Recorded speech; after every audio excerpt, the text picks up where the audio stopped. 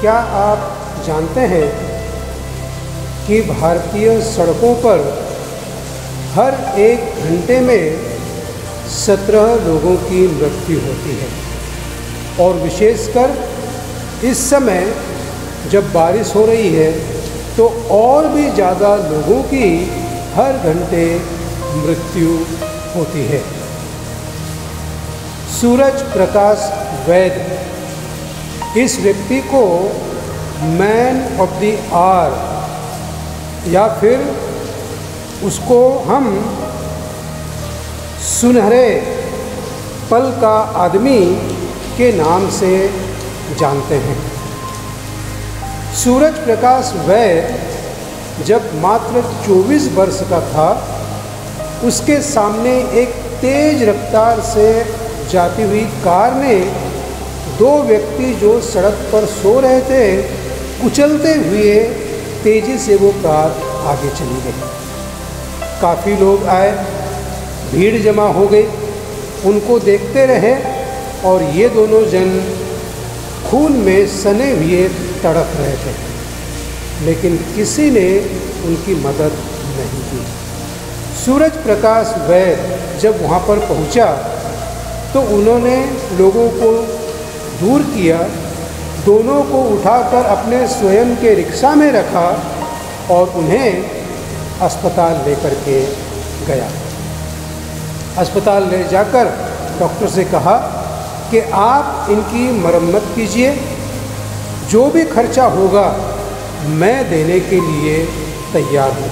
कुछ पैसे उसने डॉक्टर को दिए और अपने काम से जो जा रहा था वो आगे गया। शाम को आने के बाद में डॉक्टर से फिर से उसने कहा कि आपका जो बिल है वो मुझे दीजिए और जो भी उनको आपको देखभाल किया है, खर्चा किया है, वो मैं आपको देने के लिए तैयार हूँ।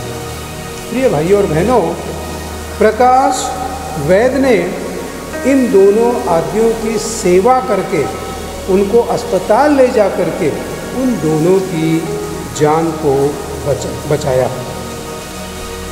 उस समय से आज तक सूरज प्रकाश वैद इकहत्तर वर्ष का हो गया है और हज़ारों व्यक्तियों की जान को उसने बचाया है। जब भी वो सुनता है कि किसी की दुर्घटना हुई है, किसी का एक्सीडेंट हुआ है, वो वहाँ पर तुरंत जाता है और उन व्यक्तियों को अस्पताल लेकर के जाता है। भाई और बहनों, आज के सुसमाचार में हमने सुना कि शास्त्री यीशु के पास में आकर के पूछता है, मेरा पड़ोसी कौन है? प्रभु यीशु उस शास्त्री को भले समारी का दृष्टांत सुनाता है और हमें अपने पड़ोसी को मदद करने के लिए आमंत्रित करता है। अगर देखा जाए तो हमारे चारों ओर पड़ोसी लोग हैं। जब हम देखते हैं कि चारों ओर जो व्यक्ति है, वो ज़रूरतमंद है। किसी को आर्थिक मदद चाहिए, किसी को मानसिक कोई प्रेम का भूखा है तो कोई दया का भूखा है। कोई प्यासा है, कोई अनाथ है, कोई गरीब है।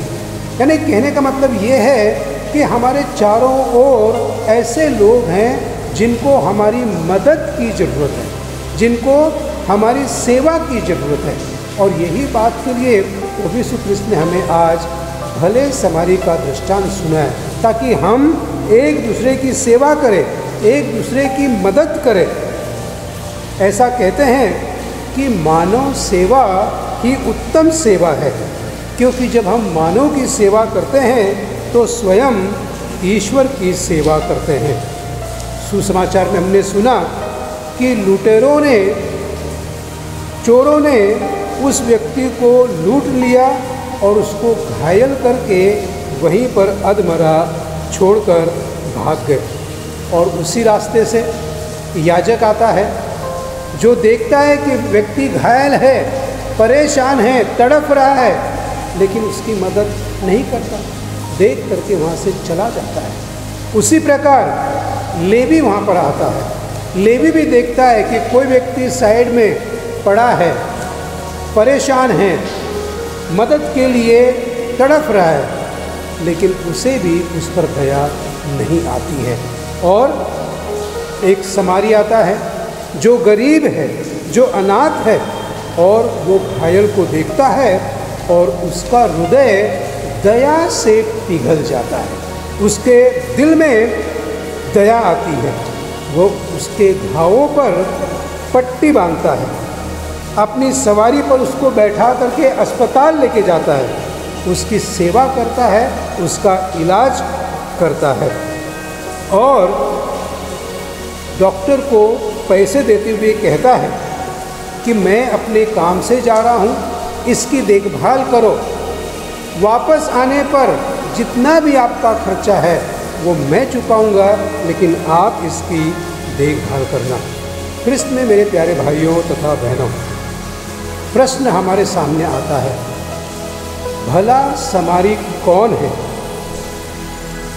या फिर समारी कौन है जो हमारी मदद करता है, जो हमारी सहायता करता है और विशेष करके जब हम परेशान हो, कोई आ करके हमें सांत्वना देता है, वो है हमारा भला समारी।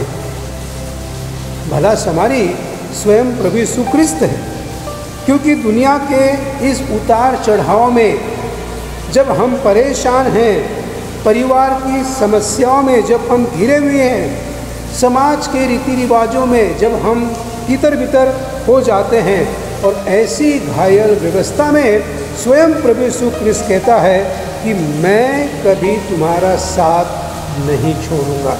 यानी कि प्रभु क्रिस्त हमारा सच्चा समारी है। वो हमारी मदद करता है। वो हमको कभी बेसहारा नहीं छोड़ेगा। वो कभी हमको अकेला नहीं छोड़ेगा। वो कभी हमें अकेला जीवन बिताने नहीं देगा। याजक, लेवी, वे लोग हैं जो हमारे जीवन में सिर्फ़ वाह वाह करते हैं, अच्छे समय पर आते हैं, लेकिन दुख देख करके वो जीवन से बाहर चले जाते हैं। कभी कभी हमारे परिवार के लोग भी अच्छे समय पर मदद करते हैं, लेकिन जब समय आता है मदद करने का, सहायता करने का तो वो हमसे कतरा करके दूर चले जाते हैं। भाइयों और बहनों, यीशु ही वह भला समारी है। जो हमें कभी अकेला नहीं छोड़ेगा। पैगंबर के ग्रंथ में हमने सुना है कि अगर तुम्हारी माँ भी तुम्हें त्याग दे तो भी मैं तुम्हें कभी त्यागूँगा नहीं। मैं तुम्हारे साथ हूँ।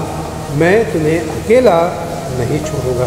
भाई और बहनों, अगर ईश्वर हमारे साथ में है, वो हमारी मदद करता है तो शायद आपको और मुझे भी यही मदद एक दूसरे को करना चाहिए। हमें भी एक दूसरे के जीवन में भला, भले समारी के समान उनकी मदद करना चाहिए।